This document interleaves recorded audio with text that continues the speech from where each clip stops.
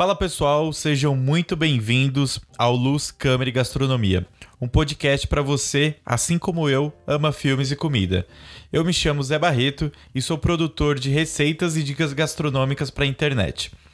E essa segunda temporada do podcast tem como propósito apresentar filmes de diversos lugares do mundo, mas ao mesmo tempo todos têm algo em comum, que é a apresentação da comida como peça fundamental dessas obras e unificando os personagens. E o filme deste episódio é O Poço.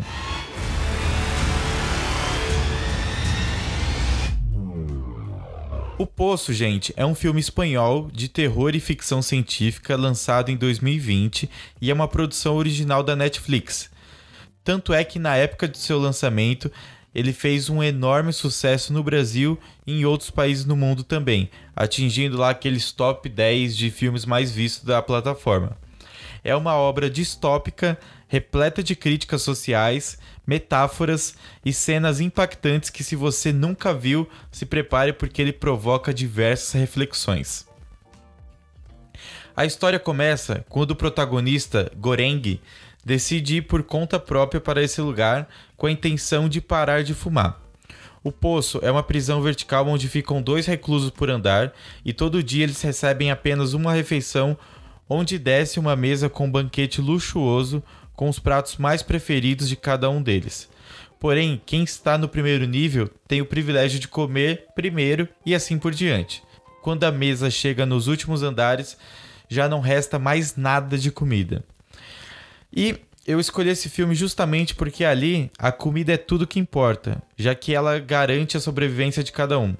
E é engraçado reparar que até alguns nomes é, de alguns personagens remetem ao mundo da culinária.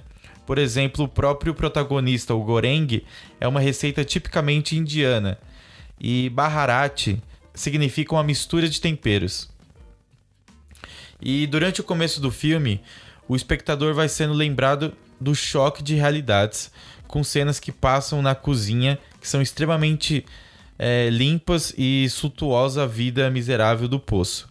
É nesse ponto que o filme introduz o conceito de consciência de classes e meritocracia, onde os que estão em cima não escutam os de baixo e também não querem ser comunistas.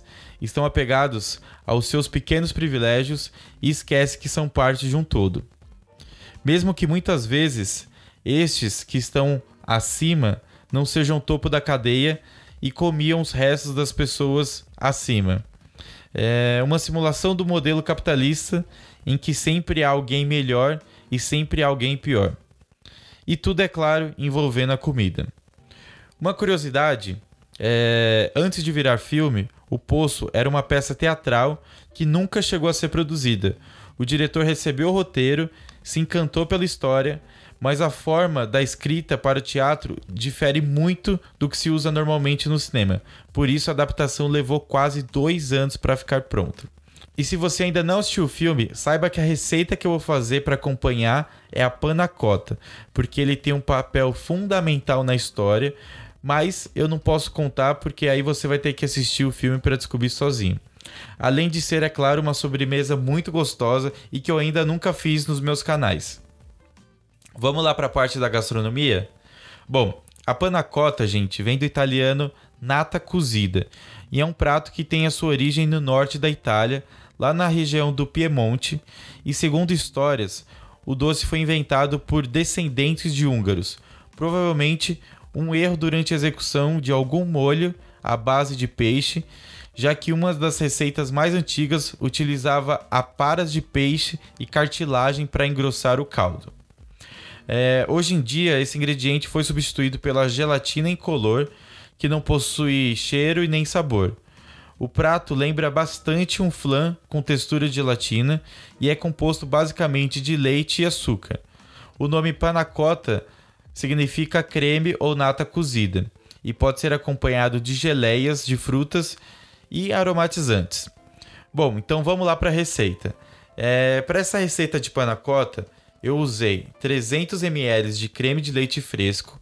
É importante que seja o creme de leite fresco, tá, gente? Não use de caixinha. 60 gramas de açúcar refinado, é, fava ou essência de baunilha, se você gostar, 200 ml de leite e 4 folhas de gelatina incolor. O que, que você vai fazer? Antes de mais nada, você vai pegar as folhas de gelatina incolor e hidratar ela em água fria por uns 5 minutinhos.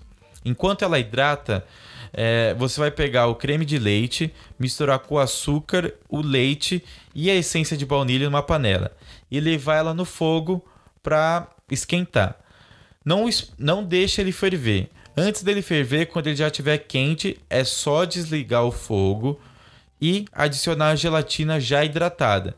E vai misturando bastante, bastante, até dissolver toda a gelatina. E aí o que, que você vai fazer? Reserva isso daí até esfriar ou chegar na temperatura ambiente. Feito isso, é, você pode fazer a calda. A calda, basicamente, eu só misturei é, morango com açúcar e levei no fogo para esquentar e cozinhar por uns 15 minutinhos. Vai ser o tempo é, da sua panacota esfriar e também depois deixar esfriar a, a, a calda. O que, que você vai fazer? Você vai pegar essa panacota e dividir em potinhos menores. Coloca é, em porções menores, porque depois vai ser mais fácil para você desenformar. E leva para a geladeira. É, de, depois de 6 horas ou da, de um dia para o outro, é só desenformar essa panacota, colocar a calda por cima e pronto, gente. Só servir é fantástico. É, eu espero que vocês tenham gostado e se quiserem ver como eu preparei esse prato, é só me seguir nas redes sociais que eu vou postar o vídeo ensinando passo a passo como fazer ele, tá bom? Tanto no TikTok como no Instagram e também no YouTube Shorts.